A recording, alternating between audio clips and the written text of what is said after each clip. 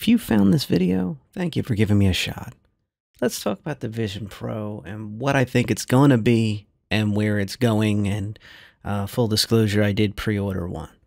So, the process itself to get through it, I'm sure you've heard 6,000 different people say it, but I'm just going to say it one more time. I think the facial scan system and all the nuances of finding your lenses if you need them, etc., etc., although they were a little stringent with it, I think it was a good idea to at least remind people of that.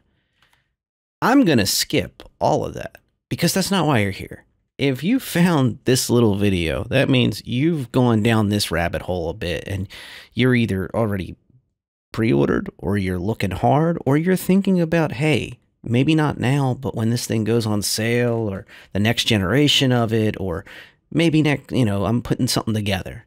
I respect that and I respect your time. So I'd like to talk about a couple things that I think the Apple Vision Pro is and is not and if you appreciate this type of content, don't forget to like and subscribe, all that stuff. I'm done. All right, got my little speech out of the way. So, the biggest thing to remember is if you're coming from a VR perspective, if you're already a VR user, that's where my bread and butter was since 2017. My old Vive OG Vive barely holding together. A lot of modifications to keep it running, and my beautiful, well kept index because I never exercised in it. More on that in a minute for the AVP. Um, have taught me a few things, and I'll go into those probably in the future. But to stick to the Apple Vision Pro, if you're coming from a VR perspective, there's a couple things you want to keep in mind.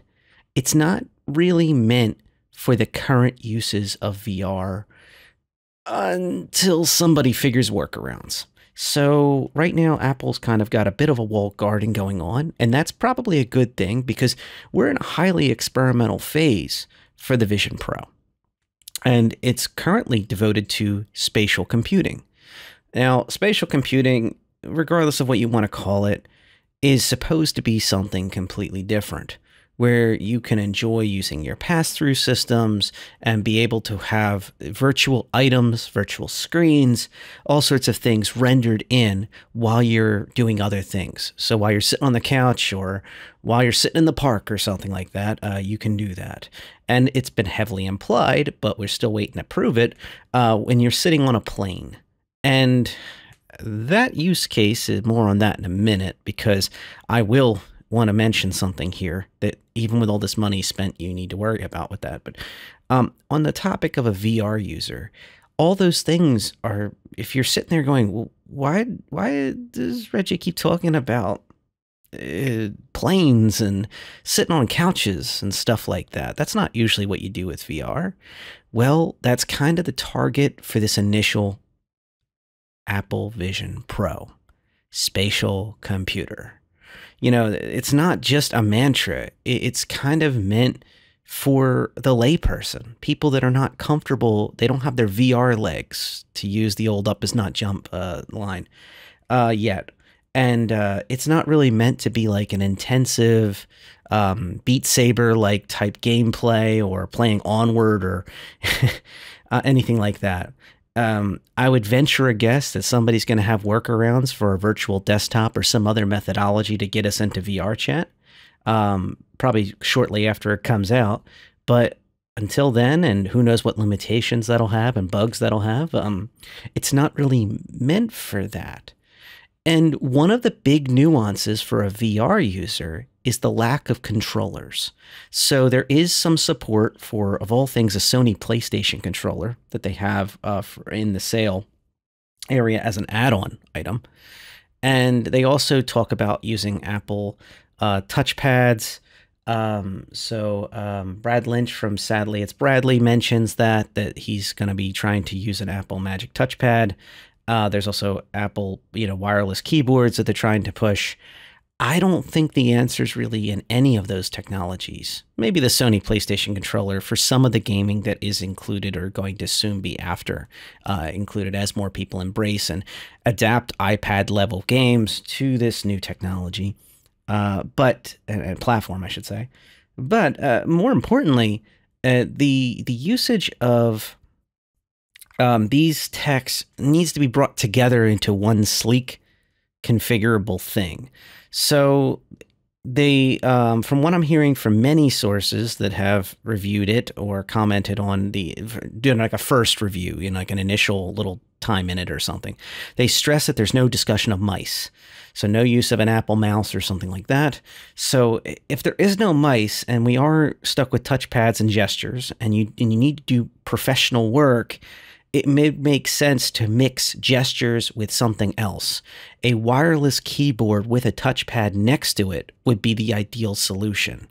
And if Apple won't do it, I'm sure somebody will have a workaround for it eventually, a third party uh, technology uh, that will figure out the way. Um, but I, I, think that's probably going to be the cleanest solution. Uh, we might even see a return of other unique uh, technologies that are a little more left field. Uh, I think of the little knob that's in the um, old laptops, like the old the old IBM slash Lenovo uh, ThinkPads and stuff, but you could rest your palm across the keyboard and you could use your um, your your thumb uh, to operate like you know keys of a mouse. But I think that would be limited because there is no mice yet, unless somebody uh, figures things out. I think the, the big specter in the room is is anybody going to have the courage to jailbreak something this significantly expensive? And I think the answer is probably. It's not going to be me, but probably somebody out there, some some incredible soul will figure out a way to have technologies uh, operate with this. And I hope it doesn't have to get to that. I hope it gets to a point where there's a framework to integrate different types of controllers, different types of inputs into this system. And this gets back to VR uh, to allow for people to do many different types of experiences in this that may be uh, VR based experiences or at least kind of studio in that realm. Now, this thing is the most powerful HMD you can get your hands on right now, at least on a consumer level that you can just buy off the shelf. Um, and as, as, at its launch, it will be the most powerful thing ever made, and, and that, that can process for itself. Uh, but it does have data technology. If you know about the MacBooks, you you know about the M2 chip. If you know about you know if you can start putting yourself together that this is a super powered iPad in its processing capacity with 16 gigs of RAM and a special second chip that all that's doing is managing getting all the light to you when you need it. Um, that's me paraphrasing a lot of information just so I don't go down a rabbit hole. There are many other videos you can go through if you want to go through that exact topic. But I'm trying to do like a practical what are people missing that I'm I'm not seeing in all the videos I've watched, and um, also from a perspective of a VR community developer. So I make a lot of mods and and things like that. Uh, and this is an exciting thing for me to move into spatial computing. I look forward to it. And most importantly, uh, it's a very fledgling group of folks that's going into it. So if you're not already into like heavy into VR or, you know, especially into willing to do mods and willing to do different types of things to make things work and you're not used to that kind of shoestring capacity to to really eke out the most out of your headset. Um I think that the AVP will have a limited use case at first. There are a lot of mo mods out there uh, that, that are being done, but instead of mods, let me flip this on you on its head a little bit. They call them apps. And those apps are on development. And there are a variety of great discords and reddits the subreddits that are handling the apple vision pro and they are chock full of app ideas and app development right as we speak. We have a lively discussion going on in the Apple Vision Pro uh, subreddit Discord, and all of them are free for you to join. You don't need to be a developer. You don't need to have purchased it, be purchasing it on on day one or ten or whatever. Um, you can join in. And if you're excited about a specific topic, say if you're in the medical field and you want to be able to get into training aids, or you know, like for example, if you run, if you if you run a, if you push a medical card around and you're good to go, and you want to know, you know, is hey, can I think of this as part of my training regimen? Well, there's people talking about those things. Now, I'm not saying replace it with anything official. I'm not saying that. I'm just saying that for your own personal use and for your own interests, whether they're professional or not, there's a variety of very interesting apps. And the developers right now for this brand new platform are itching to hear from the variety of the community. And you may already be a power user for this thing and you don't even know it. Uh, so if you already are heavily into the iPhone or the iPad type uh, type work, and you find yourself spending a lot of time, both whether it's for work, whether it's for home, whether it's for school, and you find yourself using a variety of different apps, some of those will be integrated into Apple Vision Pro very quickly into the to the Vision OS that runs it, and many of them won't be. So, uh, this is important that you really want to advocate for those important apps that work for you. And in some cases, there are apps that you will probably need to get to know. And um, especially, for example, streaming content. So, the media has recently put a lot of pressure, a lot of pressure on going into is the Apple Vision Pro um, going to have Netflix, going to have streaming capacity at all, or all these different products, aside from, of course, what Apple supports, you know, Apple TV or something like that? And the answer is actually a roundabout way yes. So, for example, I, I had the pleasure of chatting with the Moon developers um, from Moon Home, and they said they're fully integrating in their streaming capacity. And their streaming capacity does multiple different services, including some that you would be surprised by. Now, I'm not advocating for just them. I just happen to run into them and speak with them online. And um, I don't know them from Adam other than that. They was very polite conversations and uh, great chat with the community. And they answered a lot of questions of ours. And they had some ideas about whether they're going to go into uh, calling it a, you know, a spatial home or the Apple, uh, sorry, uh, Moon Home spatial computer or spatial computer for Apple Vision Pro or something like that. Like basically focusing on the moon home aspect or the spatial computing home system, basically kind of rebranding and then having moon just added at the end. And um, I'm, if you see my my, my avatar, I, I'm a little partial to moons. I'm a little partial to Luna. Uh, so I'm always on Team Moon. But um, I can tell you that these type of technologies, someone will serve the gap will be found, the gap will be met. So if you, let me kind of move into that realm more about. We've covered if you're from the VR perspective, if you're from the layman perspective, whether it's professional, private, school, etc. You know, you're looking at for this to use in your program to share amongst people. Um, there are some limitations to if you are excited about this still. And one of the ones I want to start with is discussing the apps again. So I discussed all these different apps. Some of them require subscriptions. And you may already have some that are going to seamlessly transition, and some you're going to want to start budgeting to cut off that subscription and go to the, to go to another product or purchase another product outright, you know, or use a free product even. I mean, I hope you can find one. That'd be great. Uh, that works with AVP for doing the same need. So, fulfilling the same productivity apps, fulfilling the same creativity apps, you may have to find yourself another solution. So, be careful about your subscriptions if you are into subscribing to apps. This particularly applies to professionals who find themselves using an, uh, you know, an iPad Pro and they're fully maxed out and their iPad, sorry, the brand new iPhone Maxes and such, and they're doing all sorts of interesting things, and they're really running these machines to the max. Uh, these portable devices uh, suddenly will might not transition well to AVP. They may work out great, and I hope every app you use does, but I doubt it. So especially at the beginning, we're remember we're at a, a rocky start. We're at the beginning of this process of this spatial computing era for Apple, and um, it's going to be a little rough but you will find solutions for every single product you can possibly think of, every niche you can think of, especially if you advocate yourself for free on these on these places and, try to find solutions working together with the community.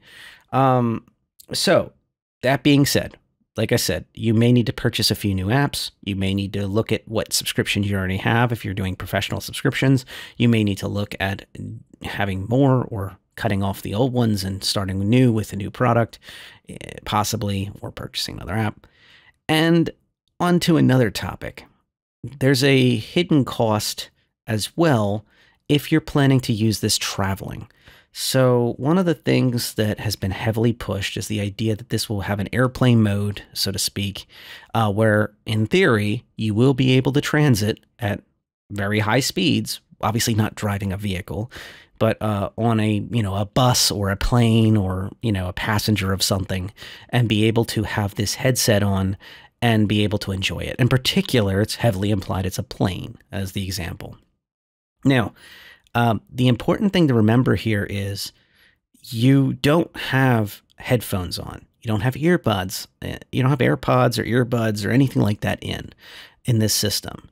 And the only truly integrated latency as low latency as possible. They I think they even try to suggest it has like no latency, but it's extremely low latency is the AirPods Pro model 2. The AirPods Pro 2, specifically the one with USB-C connection. The one with USB-C connection, the AirPods Pro 2. And uh, because it has a special extra chip or they modified the chip to allow it to communicate directly with the AVP and it allows it to have that lo near lossless audio that's perfect in every way, etc. Now, that all has to be examined and reviewed, and I don't have a pair of those earbuds. So when I first get this set up, I won't be using them, and I'll probably be okay because I'm not planning to go on a plane anytime soon, which is good. So, yeah, I bought an AVP. but let's be serious here for a minute. If you are a traveler and you have dreams of using this thing, because the Quest 3 is useless on a plane because the entire interface keeps moving away from you due to its I think what the deal is the accelerometers inside when you're traveling at hundreds of miles an hour, they basically it doesn't know what to do and it basically leaves the menu behind you and you have to keep opening it over and over and over again and it keeps flying away from you. And even when you're moving, it gives you a hard time. It says you're too far away from the controllers, even the controllers in your hands. It has menu errors and such. This should not have that, especially if they do support an airplane mode for you to enjoy your content.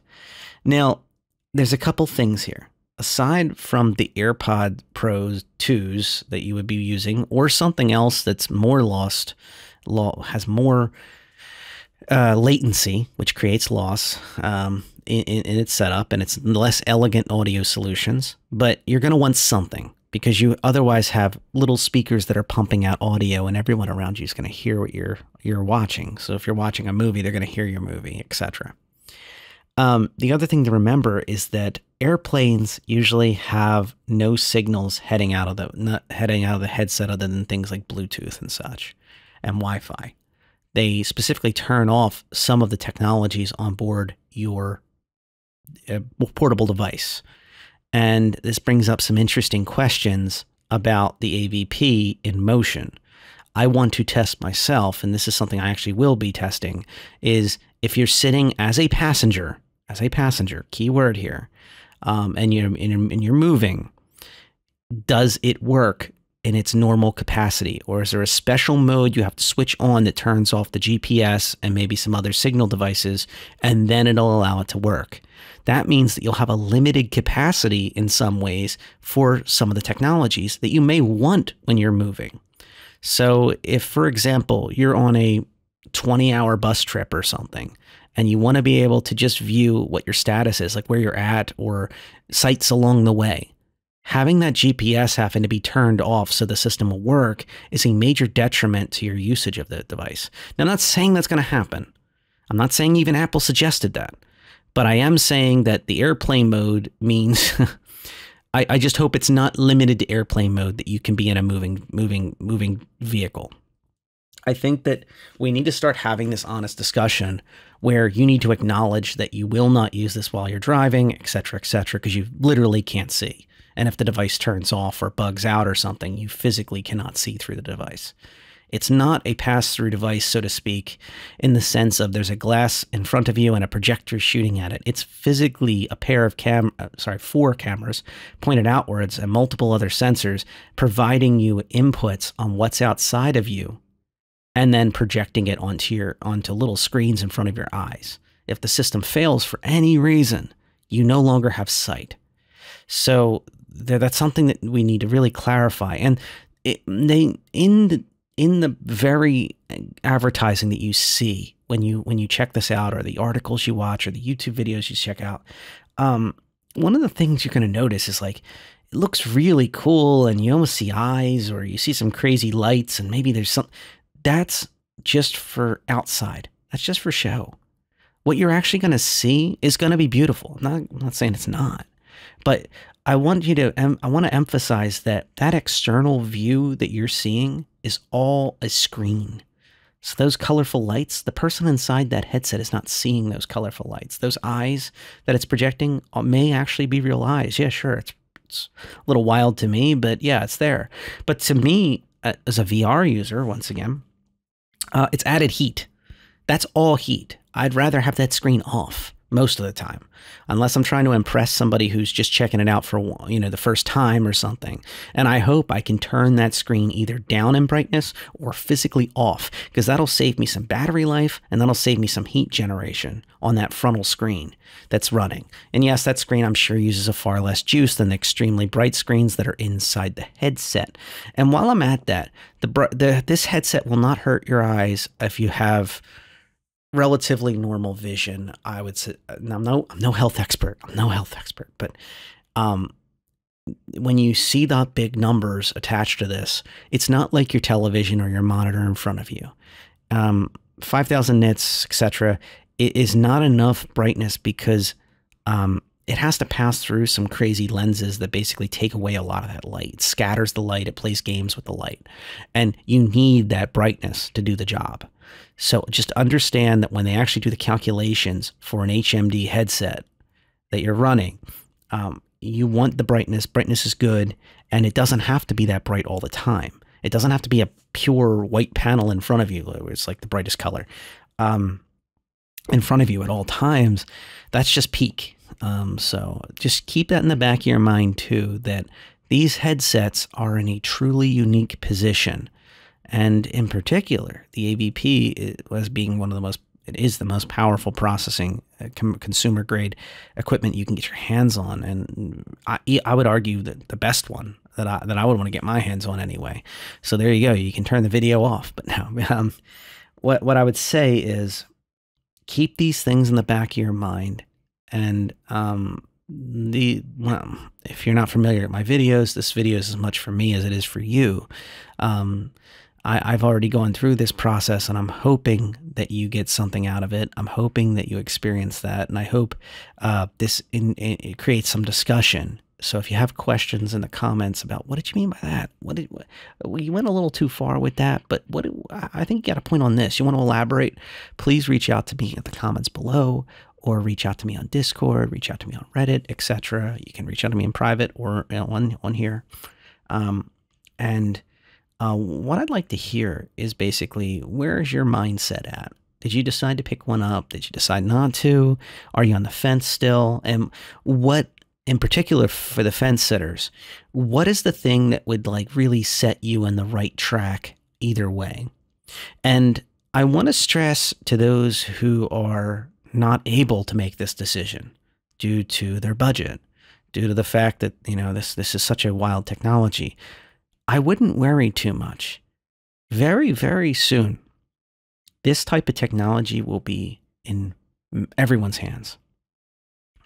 I firmly believe that this type of technology is too valuable and it will be seen as something that is powerful and is useful for many. And it may not be sitting in your house in the next year or two. Maybe not unless it's your choice to uh, spend that kind of money on it.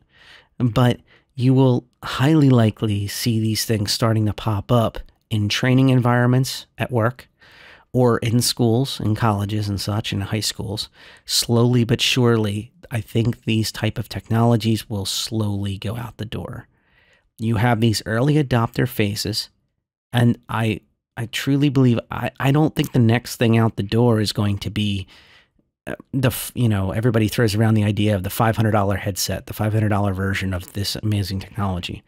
I don't think that's the case but i do think that there will be some type of highly publicized subsidized program for edu and for commercial side that tries to like push that angle and gets people excited about it. And uh, i think if if that if if that happens I don't think even the hardware is going to be what justifies it. Strangely, I think it'll be the apps. So if this if this technology gets enough traction and enough developers are willing to take their really powerhouse apps that are like in the top 100 free and top 100 paid apps and you know all that um, and they slowly bring them over to the AVP whether kicking and screaming or excitedly either way um, it really doesn't matter it matters that they're there um, then all of a sudden there's a there's a heartbeat to this community that's going to grow and grow and grow like the Grinch's heart. eventually, I think even the most staunch folks that are against it will at the very least be reinforced in their beliefs or more likely I think they'll understand that it it's not a perfect technology. It's not really meant for everybody. I get it, but for most people, they're going to see a value at least in in in their in their workplace, in their in their in their education, etc., and possibly even at home. And that's okay. It's okay if you're not if you're not a fan of this test type of stuff. Um, this is not a fad. This is not a pair of 3D head, head uh, glasses that you wear in front of a TV. Um, this is unfortunately something that's a solo experience for now at least at the local level. Um, i do expect to have the equivalent of modern day LAN parties where people show up with these headsets especially as they get cheaper and uh, more common which is once again i hope that happens. I want that to happen. I want this to be a success so there is a bright future for everyone to appreciate these type of capability and can embrace it. And why? Why do i want it to work and why do I think an iPad, a fancy iPad, as some people keep stamping that mantra, why do I think it's important? Well, because it's not just an iPad. So, an M2 chip and 16 gigs of RAM and an R1 fancy chip that makes the light work as fast as possible to your eyes from where the renders, it's all great.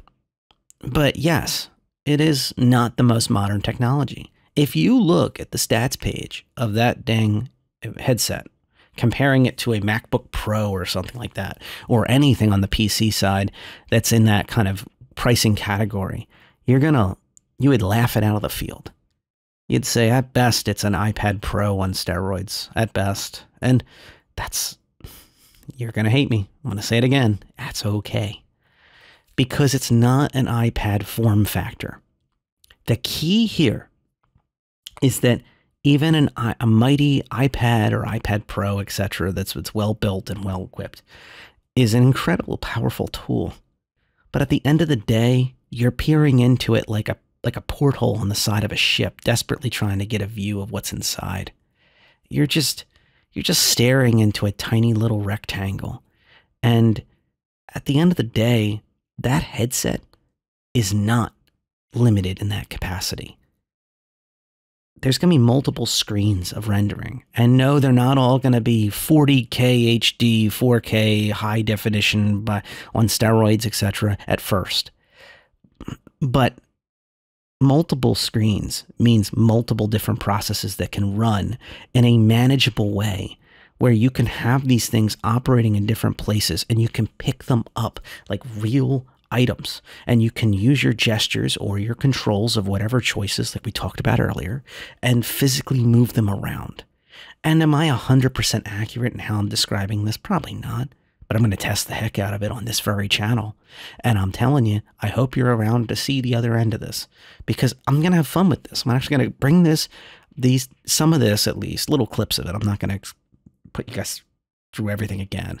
The the, the kind of men and women who bother to give me a chance, I'm not going to put them through 30 minutes of me talking about my predictions, but I will try to highlight the the, the best parts of it, good and bad, and try to compare it to what we got. So I, I, I hope that once again, if you're a fence sitter or you're you're a person who's a VR diehard or you're you're a layman or somewhere in between and you're just curious, I, I'll gladly answer those questions. And testing, testing, testing, and seeing this experience is going to be great. But more importantly, I think it's the first time we'll actually have a true spatial computer, a, system that's got the volume of an entire room at its disposal, and you can pick it up and go anywhere with it. That's that's the dream right there. To be able to bring virtual items to reality and be able to take things that don't exist and make them just as real as the very items in front of you, just as real as the television in front of you, just as real as the computer screen in front of you is rendering out things, and be able to take it anywhere you want and make the reality you want to see, what you want to do at any given time. That is a superpower right there. And if this thing even completes half of what is it promised, it's going to be incredible. And it will exponentially get better. I'm not even going to cry if they release something in the next 12 months after it that's infinitely better and dirt cheap. I hope they do because I want everyone to be able to experience the magic that is bringing virtual to reality. And I hope that I'm here for it, you know? Um, so to be able to document it and enjoy it. And uh, that's that's about it on this one. Also, uh, shout out to anybody if you heard me mention VRChat earlier. If you if you know me from there, hey. If you know me uh, from the other VR games, glad to see you here. Thanks for coming by. All right, that's it for now. Thank you to the couple people who checked this out. Have a good one.